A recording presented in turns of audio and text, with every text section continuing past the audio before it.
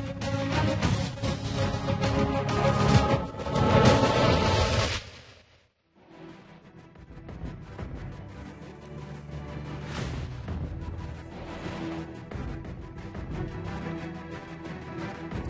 Baik, Assalamualaikum dan terima kasih saudara kerana terus berseram bersama kami dalam dialog bersama saya Syuhaimi Muhammad pada malam ini. Kami memulakan dialog terlewat sikit hari ini untuk memberikan laluan sebentar tadi kepada Majlis uh, Pelancaran Seminar Antarabangsa, Majlis Perasmian Seminar Antarabangsa Wasatiyah 2017 yang berlangsung di PICC dan disempurnakan oleh Yang Amat Berhormat Perdana Menteri. Jadi dalam hal uh, untuk tajuk pada malam ini kita akan melihat uh, tentang soal keselamatan dan saya yakin ya setiap rakyat mana-mana negara sekalipun bertanggungjawab sepenuhnya uh, terhadap keselamatan negara terutama dalam memastikan ruang udara, perbatasan lautan dan sepadan negara tidak diceroboh anasir luar yang berniat jahat. Jadi tanggungjawab itu adalah amanah yang memerlukan taat setia yang tidak berbelah bagi untuk memastikan dan terus mempertahankan kedaulatan negara agar terus kekal. Jadi pada malam ini dialog sebenarnya membawakan tajuk Eskom Peneraju Ezon. Jadi hadir pada malam ini hampir bersama saya ialah DCP Datuk Wan Abdul Bari Wan Khalid, Komander Eastern Command. Assalamualaikum Datuk. Waalaikumsalam. Terima kasih Datuk kerana bersama dialog dan juga di hujung sana ialah saudara Nur Alam Khan Abdul Wahid Khan, Ketua Pegawai Eksekutif Eskom. Jadi kita melihat sebenarnya uh, 2003 eh, telah pun kita tinggalkan. Dan pasnya peristiwa Lahad Datu ini memberikan uh, 2013 apa saya ya 2013 meninggalkan satu kesan yang mendalam khusus bagi penduduk Lahad Datu uh, di Feldatuan Duo dan saya terlebih dahulu nak kepada uh, saudara Nur Alam yes. kerana pada ketika itu peristiwa pencerobohan yang berlaku ketika itu saudara sendiri berada di Lahad Datu berada di Sabah sendiri yeah. dan mengikuti rapat uh, mengenai uh, pencerobohan yang berlaku. Jadi mungkin masih lagi dapat digambarkan bagaimana agaknya keadaan empat tahun yang lalu ketika pencerobohan, krisis pencerobohan di Lahad Dato' ini. Tuan. Ya, terima kasih uh, Encik Suami kerana jemput kami lah uh, Eskom untuk uh, bersama di dalam sesi dialog yang kita adakan pada malam ini lah. Ya. Uh, jika kita imbas kembali lah pada tahun 2013 ketika kejadian tersebut berlaku, Uh, semasa tersebut saya uh, ber, menjawab jawatan selaku pengarah imigresen negeri Sabah lah. Mm-hmm. Ya, jadi kami memang uh, memantau rapat keadaan yang berlaku di Lahadatu khususnya mm-hmm. dan memang uh, semua dalam keadaan berjaga-jaga dan terlalu berhati-hatilah pada masa tersebut sebab kita hendak memastikan bukan sahaja perkara tersebut menjadi isu yang lebih besar lagi sehingga menyebabkan kerisauan masyarakat itu terlampau tinggi berlaku. Mm-hmm. Jadi sebab itu kita sentiasa memantau daripada dekatlah perkara tersebut dan kita hendak pastikan bahawa segalanya berjalan lancar dan juga setiap agensi dapat melaksanakan tugas dengan baiklah. Mm-hmm. Dan namun dari segi peristiwa pencerobohan itu adakah masih meninggalkan kesan bagi tuan sendiri dan juga bagi penduduk Lahad Datu sendiri? Ya, sudah semestinya sebab mm-hmm. kita melihat bahawa perkara tersebut tidak pernah berlaku sebelum-sebelum ini. Mm-hmm. Dan kita dalam keadaan selesa hidup aman damai selama ini tiba-tiba uh, bila berlaku perkara tersebut ini menunjukkan bahawa uh, berlaku uh, kesukaran ataupun mungkin ada berlaku kesilapan di sana di sini uh-huh. yang kita perlu lihat kembali. Selama uh-huh. ini mungkin kita memandang remeh saja uh-huh. isu-isu keselamatan, isu pengawalan uh, pantai kita dan sebagainya lah. Uh-huh. Jadi sebab itu bila berlaku perkara tersebut uh, mungkin ada hikmah yang okay. yang baik di sebaliknya uh-huh. supaya kita lebih berhati-hati lagi lah. Okay. Dan memang kesan tu memang mendalam lah kepada masyarakat khususnya di Pantai Timur Sabah. Uh-huh. Itu bagi penduduk anak jati yeah. Sabah sendiri di mana uh, saudara Nur Alam sendiri ya uh, sebagai uh, pengarah immigration uh, uh, Sabah pada Sabah, ketika itu dan bagi Datuk sendiri uh, ketika peristiwa itu Datuk ada menyatakan Datuk balik di Kuala Lumpur bertugas di Kuala Lumpur Betul. dan Datuk sendiri pernah bertugas di Lahad Datu pada tahun 80 tahun 80 ya. dan soal keselamatan pada tahun 1980 itu bagaimana? Kalau tadi saudara Nur Alam menyatakan bahawa kita ada ketikanya alpa tentang uh, penjagaan keselamatan ya. perairan khususnya uh, di pesisir pantai itu sendiri. Jadi pada sekitar 1980 ketika Datuk bertugas di sana soal keselamatan? Kalau uh, pada tahun 80 uh, pada ketika itu uh, isu jenayah retas padan ni telah pun ada. Okay. telah pun ada. Tetapi uh, maknanya mungkin uh, publicity uh, tidaklah kita kata diberi sebesar mana yang bagi sekarang ni lah. Mm-hmm. Jadi pasukan keselamatan kita telah pun mula ditempatkan uh, seawal tahun 80 di kepulauan-kepulauan yang terdapat di kita pantai timur Sabah lah. Mm-hmm. Uh, untuk kita kata mencegah pada ketika itu kita tafsirkan mereka sebagai lanun lah. Okay. Lanun yang mana yang mengancam keselamatan uh, mm-hmm. nelayan-nelayan yang jalankan kita kata aktiviti penangkapan ikan. Lah. Mm-hmm. Jadi itulah uh, antara salah satu Yang mana ni kita penjenayah-penjenayah ni datang juga daripada negara jiran kita lah yang datang untuk melakukan ni. Dan uh, kalau kita lihat uh, ada ada ketika juga telah mereka mendarat uh-huh. sehingga kita kata ke sempurna uh-huh. uh, dan juga adalah had datu untuk melakukan kita kata uh, samun yang besar-besaran dan sebagainya lah. Uh-huh. Dan cerita keselamatan ini masih lagi uh, berlaku dan kita mula mendengar orang mengatakan mengenai adakah Sabah selamat? Adakah sekarang Lahad Datu, adakah Fedatan Duo hmm. masih lagi selamat? Bagi Datuk sendiri, soal selamat atau tidak negeri Sabah ini? Okay, kalau kita apa ni pada tahun 2017 inilah, hmm. uh, saya boleh mengatakan di sini maknanya keadaan keselamatan di 10 daerah di Ezon hmm. kita kata adalah terkawal. Okay terkawal. Uh, walau bagaimanapun uh, ni, uh, ancaman daripada jenayah retas sepadan itu tetap ada. Mm-hmm. Satu, jenayah kita kata daripada uh, penyelupan mm-hmm. tetap tetap masih ada. Okay. Uh, dan kita kata ancaman uh, terhadap kita kata kemasukan pendatang tanpa izin ke ke Sabah masih lagi ada dan sebagainya. Mm-hmm. Uh, walau macam mana pun buat masa sekarang ni kita mas- boleh kita kata boleh kita kata kawal, kita boleh bendung dan sebagainya mm-hmm. dan uh, mereka menunggu peluang menunggu peluang sekiranya ada ruang-ruang dan sebagainya mm-hmm. uh, untuk masuk di sini. Sebab ada banyak-banyak faktor-faktor pulling, pulling factors okay. yang, yang yang kita kata menetapkan untuk mereka datang ke sini dan sebagainya. Faktornya tu. Kalau kita melihat di sini yang pertama Uh, kalau kita ambil dari segi uh, pertama kita ambil dari segi kita kata uh, parti dulu. Uh-huh. Peluang-peluang pekerjaan, pekerjaan tu tetap ada. Uh-huh. Sama ada di sektor pembangunan ataupun kita kata di sektor peladangan dan lain-lain satu. Uh-huh. Okey, kalau kata dari segi penyeludupan. Mengapa penyeludupan tu ada? Kalau kita melihat di sini Sabah uh, dekat dengan kita kata bersepadan dengan selatan Filipina. Yang mana kalau kita melihat uh, ada pulau-pulau tu setengah tu hanya satu batu nautika. Mm-hmm. Satu batu nautika ni kalau kita kali lebih kurang kali 1.8 lah jarak dia. Kita boleh nampak. Kita boleh nampak dengan mata kasar kita dan sebagainya. Mm-hmm. Okey. Itu satu. Jarak yang dekat. Jadi bila kita lihat di sini uh, barang-barang keperluan kita kata di selatan Filipina ni lebih murah, lebih senang datang daripada Sabah. Mm-hmm. Kerana jarak dia yang dekat. Satu dari segi kos dia tu dah tentu di dan sebagainya. Dari segi kita kata dari segi ya, kita kata pengangkutan uh-huh. tu dah tentu murah dan sebagainya. Berbanding kalau selatan Filipina kalau dia nak dapat barang-barang tu terpaksa dapat daripada Zambunga. Uh-huh. Yang mana pelayaran melalui kapal dan sebagainya memakan masa lebih pada kita kata 20 jam. Uh-huh. 20 jam berbeza dengan satu jam, satu jam lebih. Uh-huh. Kita kata untuk sampai satu. Yang kedua kalau kita melihat uh, penduduk selatan Filipina ni sendiri apa ni majoritinya 95% adalah orang Islam. Yang mana kalau barang-barangan yang datang kita kata daripada daripada kita kata Sabah ni maknanya selalunya barang-barang tu halal.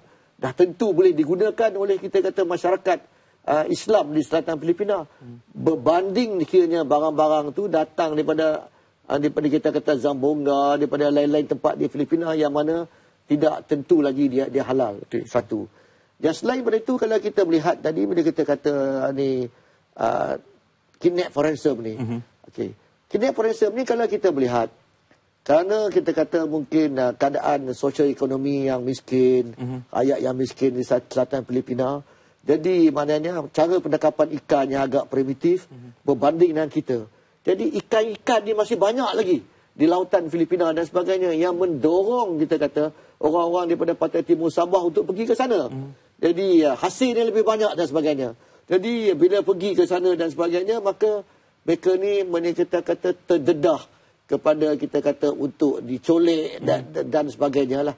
Jadi ada dia kita kita melihatlah banyak faktor-faktor yang kita tengok tadi sebut tentang penculikan, hmm. tentang jenayah penyeludupan dan tas padan, tentang kita kata yang tadi parti yang ya. datang yeah. dan sebagainya. Itu adalah pulling-pulling factors lah. Mm-hmm. Dan faktor-faktor itu jugalah ya dan ada sebab-sebab lain yang membawa kepada rentetan peristiwa uh, pencerobohan di Lahad Datu dan ekoran daripada situlah juga ESKOM ataupun kawasan keselamatan khas Pantai Timur Sabah yang merupakan kawasan kawalan keselamatan yang meliputi 1400 km. Jadi 1700 1733 km. Itu dia. Jadi sebagai pegawai eksekutif ESKOM sendiri bagaimana untuk pengawasan dalam jumlah 1733 kilometer. Kilometer. Ya. Saudara, macam mana nak untuk mengawasi pengawalan? Dan sebenarnya isu-isu kawalan ni uh, sesuai dijawab oleh Datuk Komander mm-hmm. sendirilah. Cuma uh, kita selaku uh, komponen awam mm-hmm. di dalam ESKOM tu sendiri, saya selaku ketua pegawai eksekutif adalah memastikan uh, sebarang keperluan yang diperlukan oleh bahagian keselamatan okay. yang dianggotai oleh uh, agensi-agensi tertentu seperti PDRM, mm-hmm. lepas tu ATM dan juga APMM kita cuba penuhi contohnya pembelian bot, mm-hmm. mungkin keperluan radar, kemudian uh, keperluan untuk pembaikan dan juga pemulihan uh, segala aset dan juga uh, pos-pos kawalan itu yang peranan utama yang kita jalan, jalankan di situlah hmm. sebab kita uh, tahu kekangan kita selaku pejabat awam memang tugas kita hanya setakat tu selebihnya kita akan serahkan kepada komponen keselamatan diketuai oleh komander sendirilah hmm. jadi empat tahun Datuk selepas ESKOM ni ditubuhkan untuk pengawasan 1733 km kawasan pantai Timur Sawah uh, Sabah yang bermula dari Kudat sehinggalah ke, ke Tawau. Betul. Dia itu itu pesisir pantai. Mm-hmm. Kalau kita melihat uh, selain daripada itu kalau kita melihat uh, laut pula tadi pesisir pantai. pantai. Okey. Kalau laut keluasan Azun ni mm-hmm. adalah 53,423 uh, 53,420 square kilometer. Mm-hmm itu laut, keluasan laut. Kalau keluasan tanah, okay. tanah pula adalah 31,158 square kilometer.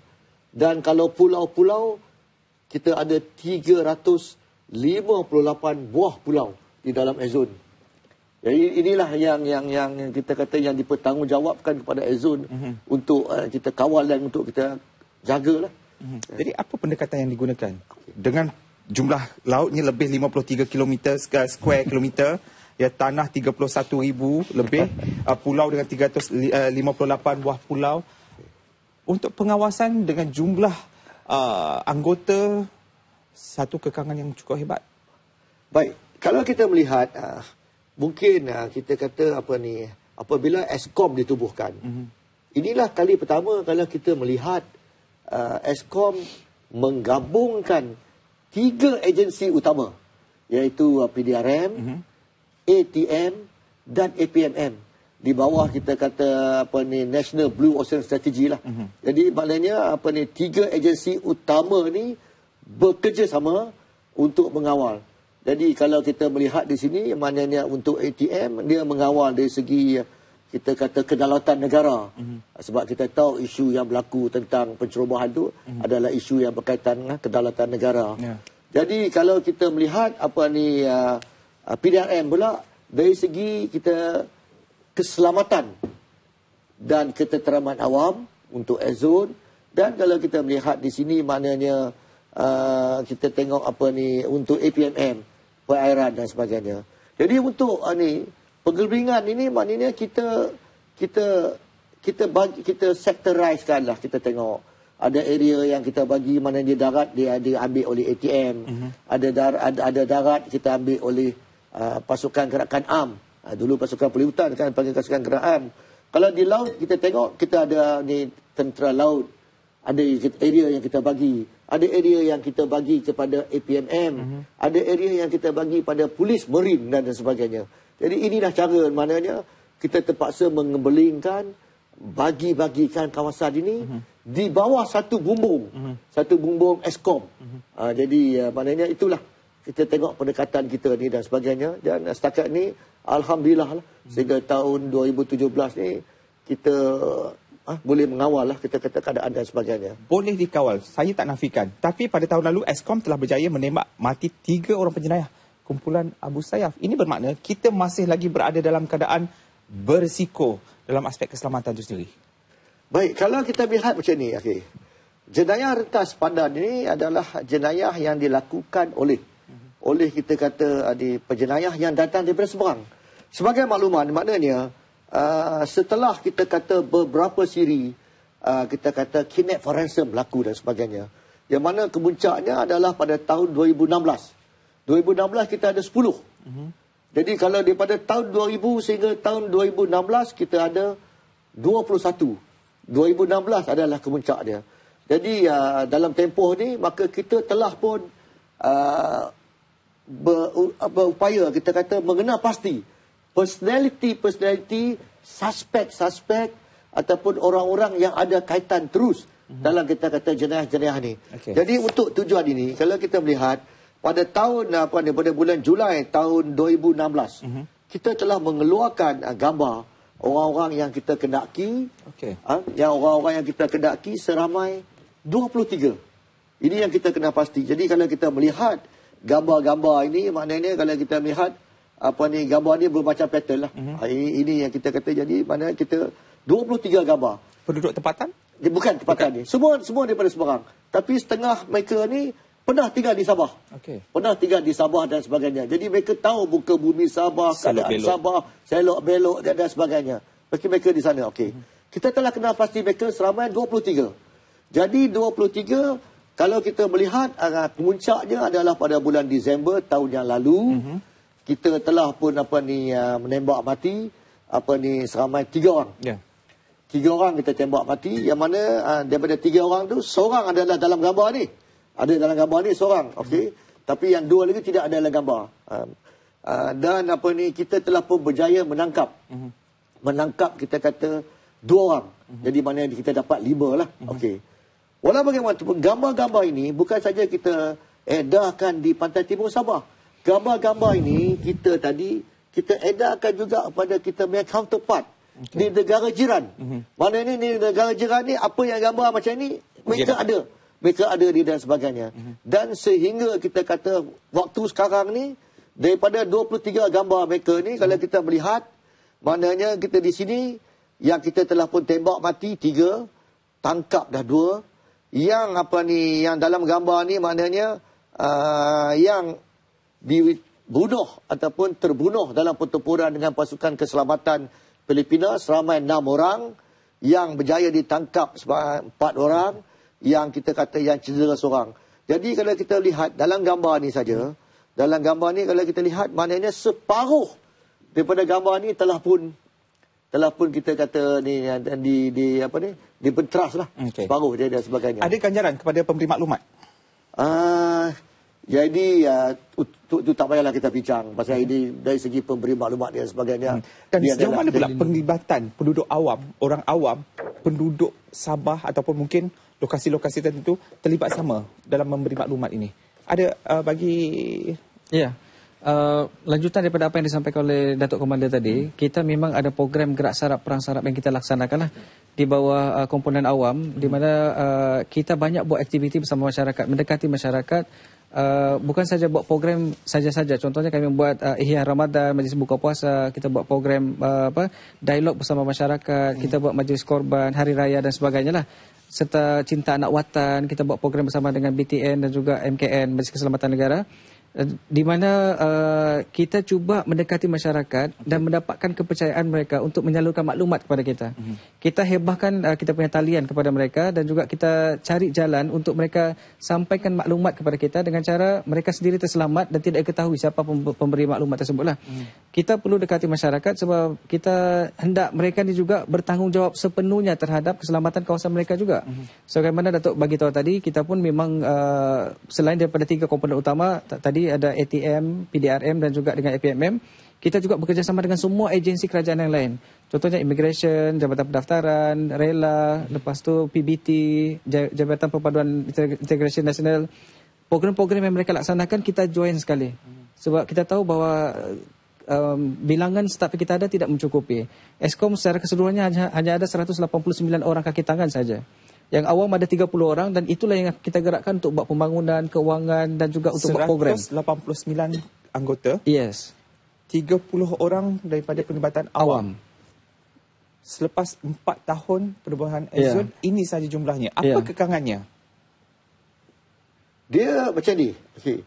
Yang, yang kita lihat ni bila kita kata Eskom ni, Eskom ni dia adalah macam kita kata pusat pemerintahan hmm. ataupun markas kita hmm. panggil itu sebagainya.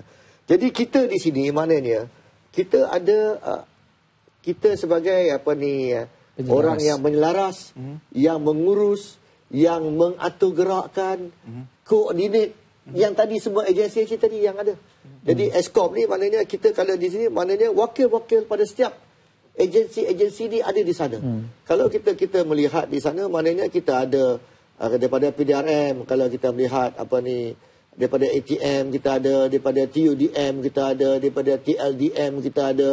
Jadi sama juga kalau kata-kata macam eh, PDRM, kita ada Marine di situ, hmm. kita ada. Jadi wakil-wakil. Jadi ini adalah orang yang kita kata yang menggerakkan, hmm. yang mengatur gerakkan apa aset-aset dan sumber-sumber tenaga yang ada di bawah ni. Okay. Yang di bawah ni kalau tengok di situ ada camp mungkin camp ATM, mm-hmm. situ mungkin camp PGA, itu mungkin bekalan APMM. Jadi kita atur gerakkan mereka. Jadi kita atur gerak ni maknanya kalau kita dalam istilah kita kita panggil operational control. Mm-hmm. Maknanya uh, mereka ada naungan mereka sendiri. Bernaung sama ada di bawah battalion, bernaung sama ada di bawah brigade dan, dan, dan sebagainya. Tetapi dari segi pengoperasian, hmm. pengoperasian di dalam zone ni, maka ni komander Eskom ni uh, diberi kita kata mandat untuk kita kata mengatur gerakan mereka ni uh, untuk mencapai satu keputusan yang kita kata yang berkesan atau yang efektif hmm. untuk mencapai hasrat untuk menjaminkan kesejahteraan dalam dalam ni lah.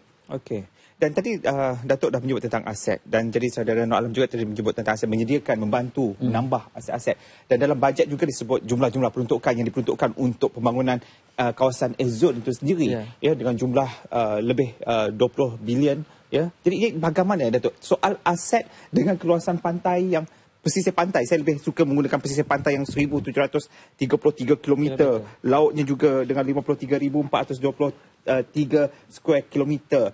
Jadi soal aset setakat ini untuk menjaga perairan kedaulatan, ini soal kedaulatan negara. Baik, kalau kita kata dari segi aset, okey.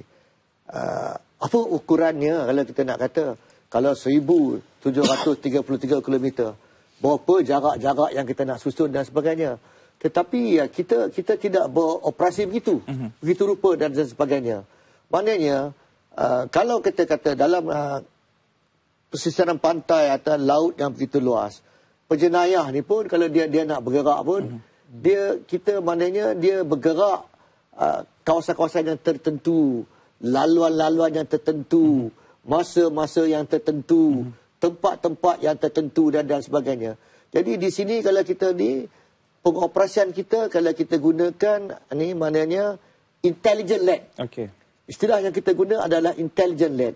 Intelligent led ni maknanya kita uh, kita tidak boleh cover setiap inci. Mm-hmm. Uh, tetapi kita akan berada di mana tempat yang kita kata uh, ni maklumat risikan mendedahkan akan berlaku dan sebagainya.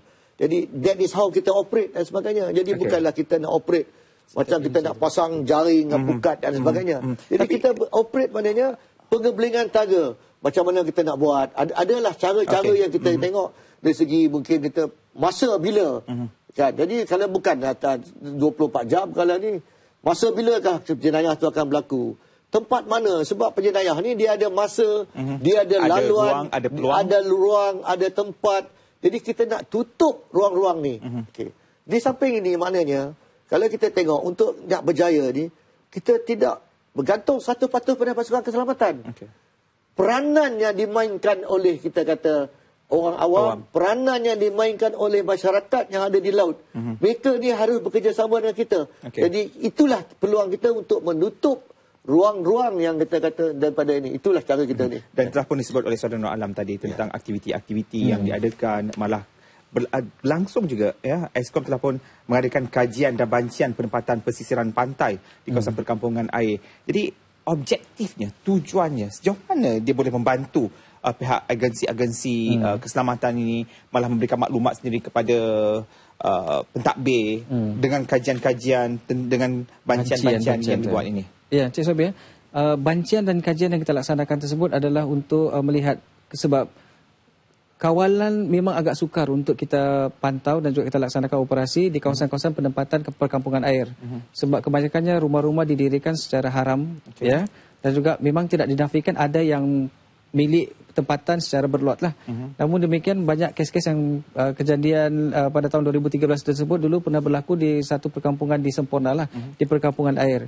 So jadi ia membuka mata dan uh, kerajaan untuk melihat untuk kita pindahkan semula perkampungan air ini disusun semula di kawasan pendaratan sebab kita Sabah ni masih luas lagi tanah yeah. dia sebab itu kerajaan melaksanakan dua pilot project satu di Sandakan satu lagi di Sempurna uh-huh. untuk memindah dan menyusun balik um, masyarakat yang duduk di kawasan tersebut supaya lebih teratur dan juga kita dapat memudayakan kehidupan yang lebih teratur dan terancang lah uh-huh. kepada mereka semua sebab kalau selama-lamanya di perkampungan air kawalan memang susah nak dibuat sebab uh-huh. ialah perumahan-perumahan kampung air dia menggunakan jembatan yang dibina sesuka hati uh-huh. di penghujung-penghujung jadi banyak isu-isu pencerobohan uh, pengedaran dada penyeludupan dan sebagainya berlaku di situlah sebab uh-huh. itu kita perlukan adakan bancian tersebut untuk mengenal pasti penduduk tempatan dan juga penduduk yang pelbagai dokumen okay. yang kita kategorikan sebagai parti ataupun uh-huh. pendatang tanpa izin itulah jadi bancian ini berjaya Baca ini berjaya dan kita alhamdulillah setakat ini kita telah pindahkan lebih 507 uh-huh. ataupun mungkin sampai sehingga 600 lah disandarkan uh-huh. ke satu uh, taman perumahan taman harmoni kita panggil uh-huh. yang uh, 500 keluarga lebih dan seri, uh, kita cuba sasarkan sehingga sebelum hujung tahun ini 1000 keluarga masuk ke kawasan taman perumahan tersebut lah. Setakat ini sambutan daripada penduduk perkampungan air itu sendiri adakah mereka bersetuju ataupun ada juga uh, deal uh, yang dibuat untuk mereka ya berpindah ke kawasan yang telah pun disediakan, penempatan yang telah um, disediakan? Tidak dapat dinafikan bahawa ada juga bantahan okay. sebab kita nak mengubah orang dan hmm. masyarakat ni yang telah terbiasa berkurun ataupun setelah beberapa generasi menduduki perkampungan air untuk dipindahkan kawasan darat di mana mereka tidak terbiasa. Okay. Sebab kalau di perkampungan air semua bertumpu di kawasan bandar utama. Senang untuk mereka keluar uh, jadi nelayan, hmm. senang untuk mereka ke bandar utama mendapatkan bekalan dan sebagainya kan.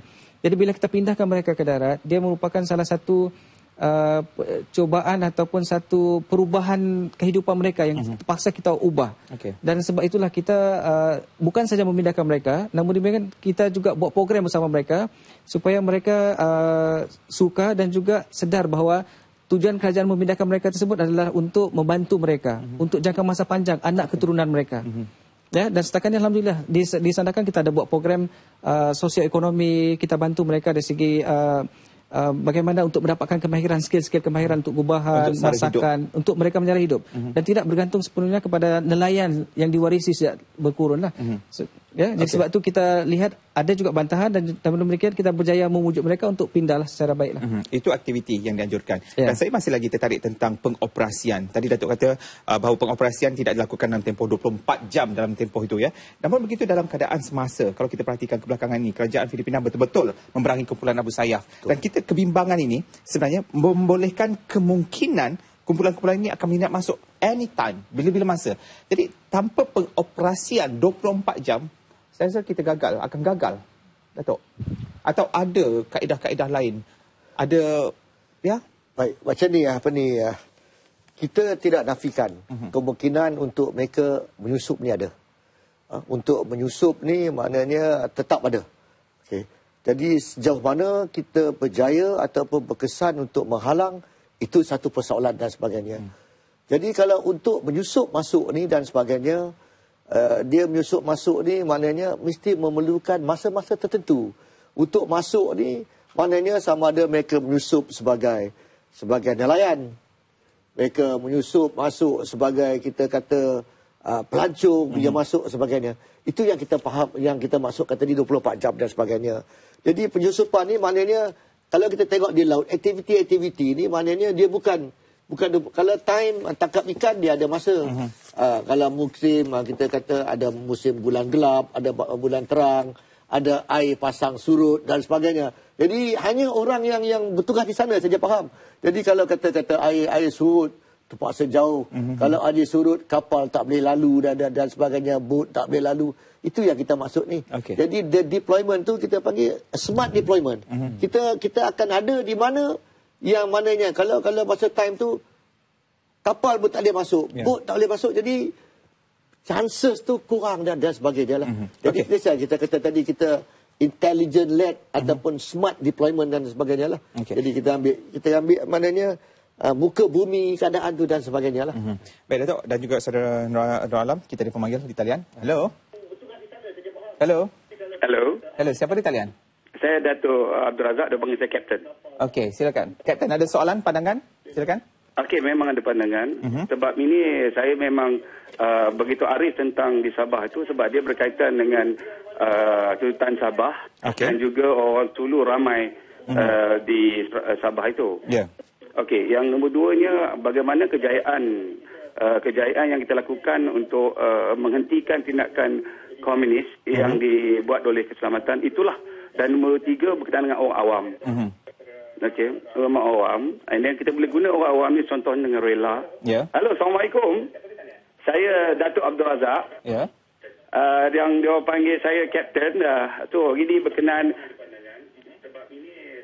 Ya, Datuk, teruskan, Datuk. Ya, halo. Uh, saya nak bagi pandangan pada komander uh-huh. untuk bagaimana kejayaan kita menghentikan uh, komunis uh-huh. uh, menggunakan di antara anggota keselamatan dan juga rakyat. Okey. So kita ada pasukan rela kita boleh tubuhkan uh, di setiap setiap perkampungan di pulau itu. Uh-huh. Dan kita boleh wujudkan uh, apa ni anggota-anggota uh, awam ini uh-huh. untuk menjadi intelligence yang digambarkan oleh komander. Okay. Dan uh, satu lagi uh, kerjasama dengan uh, pihak uh, Sultan Sulu uh-huh. sebab di Sulu tu ada dua ada dua kumpulan, satu yang baik, satu yang jahat. Okay. Okey, soalannya sekarang uh, jenayah uh, rentas padan ni kalau kita nak henti completely memang uh, memang itu mustahil. Uh-huh. Tapi kalau kita nak membawa balik uh, keselamatan yang kita uh, terima selama ini pelancong boleh hadir, uh-huh. bantuan daripada orang awam amat penting. Uh-huh. So kita ada kita punya CEO di situ okay. dia boleh wujudkan pasukan rela latih mereka kemudian uh, di kalangan nelayan pengusaha-pengusaha okay. Uh, dan dengan uh, pihak-pihak kampung Baik, uh, menjadi intelligence kepada pihak keselamatan. Dan okay, ini baik, salah satu nombor uh, yang boleh membantu uh, mencegah dan membalikan keamanan. Nombor tiga ialah satelit. Okay. So, satelit ini cepat untuk uh-huh. kita bertindak. Uh, dan kita tahu bot-bot itu sama ada bot belah kita ataupun belah uh, penyerayah ni. That one is for commander lah. Satelit okay. is very important. Alright. Okay, uh, terima kasih, Captain. Dan saya yakin Uh, apa yang okay. dibuat oleh Perdana Menteri ini dan juga Datuk Seri Musa Aman. Uh-huh. So, the continuously kita akan membawa balik keamanan kepada pulau-pulau yang banyak ni. Okey, baik. Terima kasih, Kapten.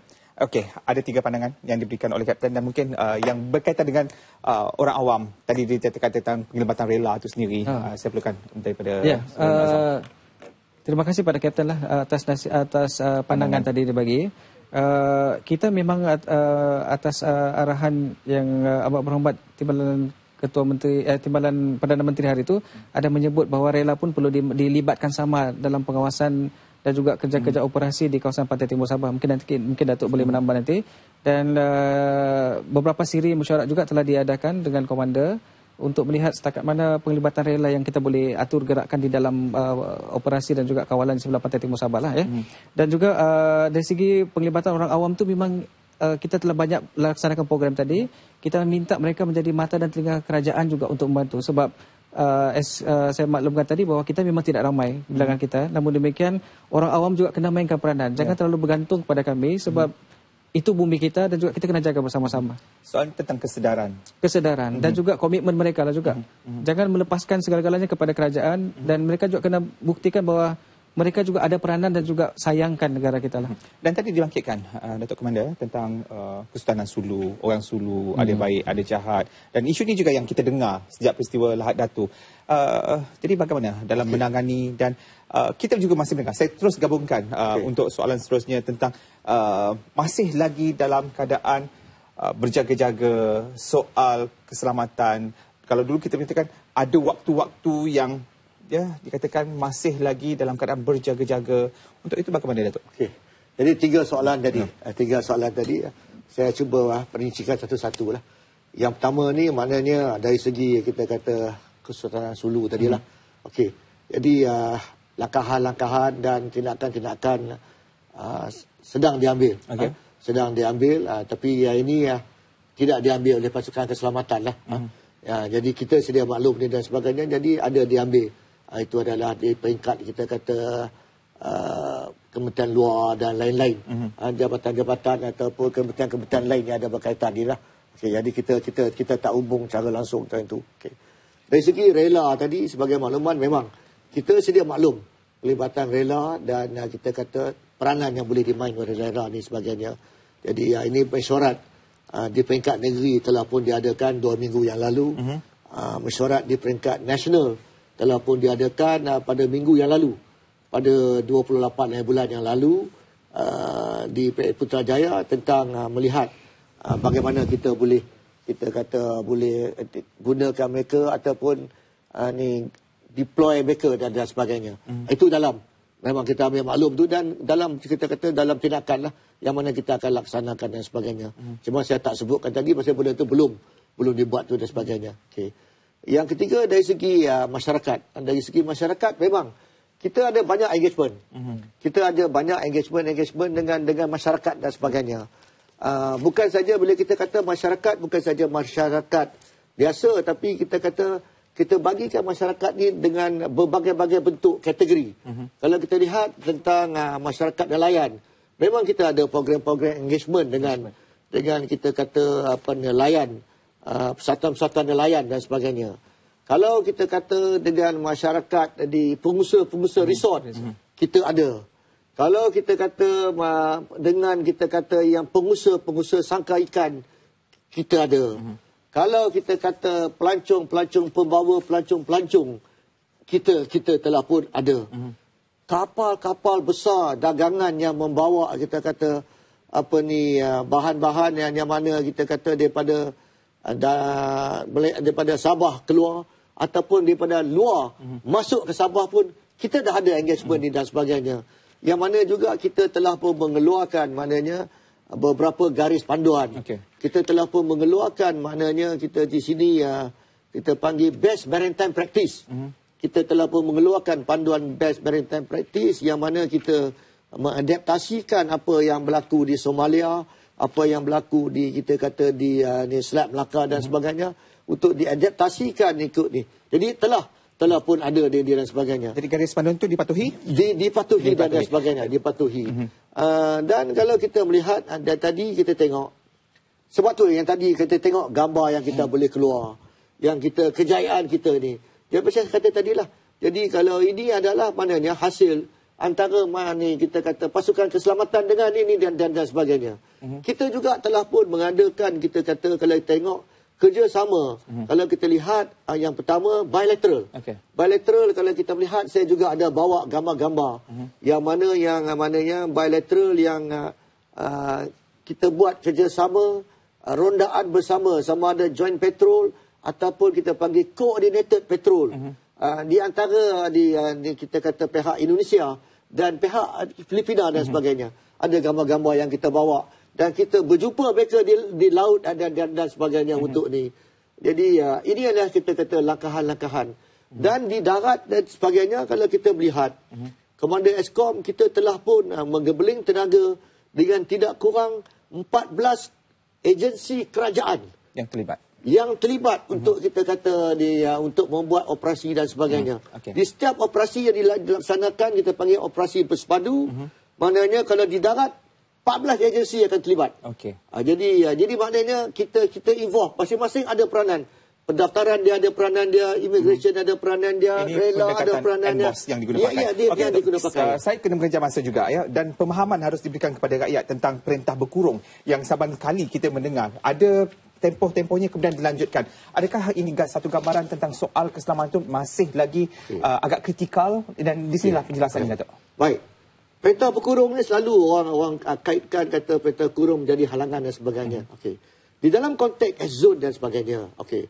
Peta berkurung ni maknanya kalau kita lihat, saya sentuh sikit. Hmm. Kita boleh, peta berkurung ni boleh disiharkan pertama di bawah Akta Polis. Dia boleh disiharkan di bawah POPA 1958 ataupun dia boleh disiharkan di bawah Akta Majlis Keselamatan. Peta berkurung yang ada sekarang ni adalah di bawah Akta Polis dan sebagainya. Okey kita nak tengok spirit of kereta berkurung ni. Mm-hmm. Okay. Kereta berkurung ni kita tidak, kita maknanya kita buat, uh, kita tengok di situ, tiga nautical mile. Ya? Batu, tiga nautical mile daripada pantai. daripada pantai. Maknanya kalau kita kalilah 1.8 dan sebagainya lah. Hmm. Jangan sebab kita tahu masyarakat di pantai timur Sabah ni banyak masyarakat je ni. Maknanya kita dah ambil tiga tu maknanya jauh tu lebih daripada dekat-dekat enam batu tu. Baru kita menguatkuasakan. Cuma yang kita minta di sini, kita tidak menghalang aktiviti-aktiviti. Apa yang kita minta di sini, hanya mereka yang hmm. kita kata nak pergi ke laut dan sebagainya, apply permit pengecualian. Hmm. Jadi kita buat masa sekarang ni kita istiharkan peta pegurung di enam daerah. Okay. Enam daerah polis jadi. Hmm. Jadi kalau siapa yang nak pergi ke laut dan sebagainya, apply permit. permit. Ada pelepasan sebenarnya. Ada. Okey. Okay. Ada ada ada ada the spirit behind itu kita tengok. Mm-hmm. Bila kita apply tu maknanya mm-hmm. kita ada butiran kapal ni ada tak ada kelengkapan dia.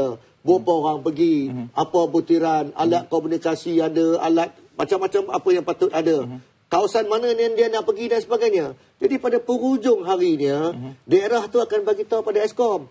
Daerah anda sadakan, contohnya kita uh-huh. kata, ada 60 buah kapal yang keluar. Okay. Daerah sempurna ada 30. Jadi pasukan keselamatan senang kita. Untuk kita tahu pergerakan. kawasan mana. Jadi kita senang nak shadow. Uh-huh. Nak shadow dia orang ni. Jadi senang untuk kita bertindak. Jadi okay. kalau tidak, jadi maknanya kita boleh waktu malam. Jadi senang. Bila kita tahan pula. Uh-huh. Kalau kita tahu yang ada permit ni dah tentu dah. Uh-huh. Yang telah melalui tapisan dan sebagainya. Jadi okay. kita tidak pernah menghalang. Uh-huh. Jadi maknanya cuma kita minta kerjasama. Uh-huh. Dan mereka melapor. Dan kita tahu dan kita akan semak balik, cek balik dan sebagainya. Okey, secara ringkas Cik Nur Azam kepada penduduk-penduduk orang-orang awam. Ringkas. Uh, saya suka menyuruhlah kepada masyarakat awam hmm. di seluruh kawasan Ezon hmm. supaya terus memberikan komitmen dan kerjasama kepada kami di Eskom dan juga uh, cuba memahami dan juga mengetahui peranan dan tugas kami hmm. supaya kita lebih erat lagi dan juga terus menyumbang dan juga menyalurkan maklumat yang tepat pada kami. Hmm. Itu Baik. saja. Jadi, terima kasih banyak Encik Nur Alam Khan, Abdul Wahid Khan, Ketua Pegawai Eksekutif Eskom dan juga DCP Datuk Wan Abdul Bari, Wan Khalid, Komander Eastern Command. Uh, memang tak cukup masa bagi saya. Banyak sebenarnya lagi ya untuk kerjakan dan sekali lagi mungkin selepas ini uh, kita akan melihat sendiri dan kita turun padang sendiri untuk melihat soal dari segi pesisir. Boleh Datuk? Boleh. Boleh ya? Tak ada masalah. Baik, insyaAllah itu janji yang diberikan dan insyaAllah kita jumpa lagi dalam uh, rancangan Dialog Minggu Hadapan. Assalamualaikum.